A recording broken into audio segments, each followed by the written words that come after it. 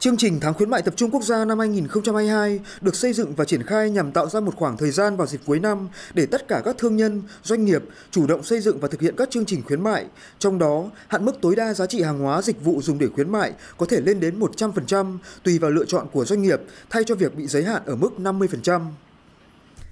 Tại lễ khởi động chương trình tháng khuyến mại tập trung quốc gia năm 2022, ban tổ chức cho biết, sau 2 năm liên tiếp triển khai, mặc dù được thực hiện trong bối cảnh dịch bệnh COVID-19 gây ảnh hưởng lớn đến những hoạt động sản xuất và kinh doanh của doanh nghiệp, nhưng tháng khuyến mại tập trung quốc gia đã cho thấy được những kết quả khả quan, thu hút được sự quan tâm, hưởng ứng mạnh mẽ của cộng đồng doanh nghiệp và người tiêu dùng trên cả nước. Trước đó, tháng khuyến mại tập trung quốc gia năm 2020 đã thu hút được hơn 27.450 chương trình khuyến mại, góp phần đưa tổng mức bán lẻ hàng hóa và doanh thu dịch vụ tiêu dùng trong tháng triển khai chương trình đạt khoảng khoảng 431,9 nghìn tỷ đồng, tăng 4,3% so với cùng kỳ năm 2019. Năm 2021, tháng khuyến mại tập trung quốc gia có sự tham gia của hơn 56.410 chương trình khuyến mại, góp phần đưa tổng mức bán lẻ hàng hóa và doanh thu dịch vụ tiêu dùng trong tháng triển khai chương trình đạt khoảng 458,5 nghìn tỷ đồng, tăng 1,1% so với cùng kỳ năm 2020. À, ờ, cái công tác uh, chuẩn bị hàng hóa trong cái tháng khuyến mại thì một là chúng ta phải quan tâm đến cái nguồn cung và quan trọng hơn nữa đó là cái chất lượng của các cái hàng hóa để dành cho trong các cái kỳ khuyến mại này. Và như mọi năm đấy thì thường trước Tết thì chúng ta vẫn có những cái đoàn uh, kiểm tra những cái hoạt động để chúng ta đảm bảo các cái nguồn cung đặc biệt là nguồn cung hàng hóa thiết yếu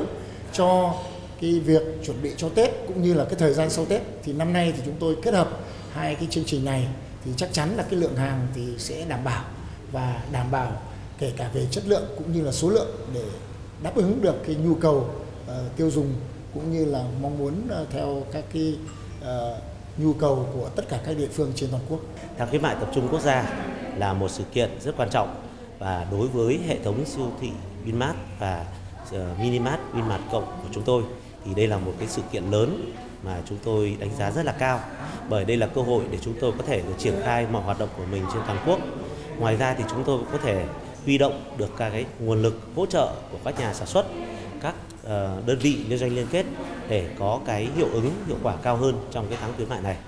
Hướng ứng tháng khuyến mại tập trung quốc gia năm 2022 thì MB tung ra các chương trình khuyến mại. À, một là ví dụ như là chúng tôi là à, mua thẻ khách hàng mua thẻ hai connection 50.000 thì được hoàn lại 100% luôn.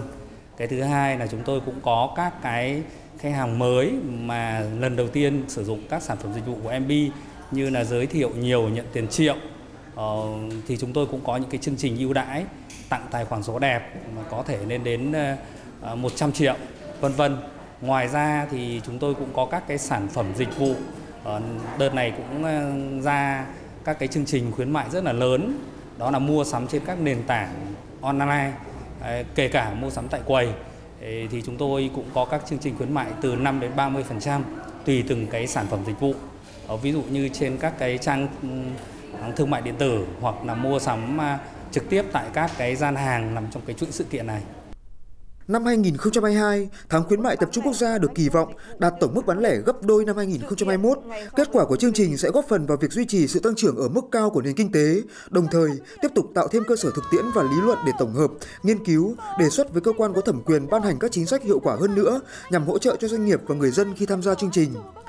Đến thời điểm này, đã có hơn 30 sở công thương ban hành các chương trình riêng để hưởng ứng. Tháng khuyến mại tập trung quốc gia năm 2022 được kỳ vọng là một trong những nội dung quan trọng, thiết thực trong việc thực hiện các nhiệm vụ, giải pháp trọng tâm mà chính phủ, Bộ Công Thương đề ra, giúp khai thác tối đa thị trường nội địa đang hồi phục tốt để nâng cao tổng mức bán lẻ hàng hóa và doanh thu dịch vụ tiêu dùng trong khoảng thời gian cuối năm, góp phần vào việc duy trì sự tăng trưởng ở mức cao của nền kinh tế, đạt vượt mức kế hoạch chính phủ đã đề ra từ đầu năm 2022.